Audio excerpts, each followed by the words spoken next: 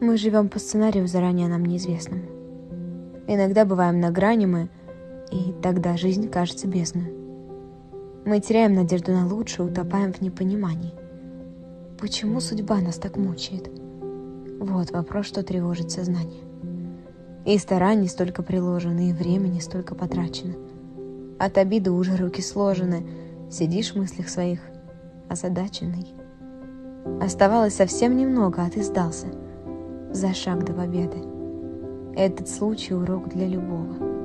Ведь у жизни свои секреты.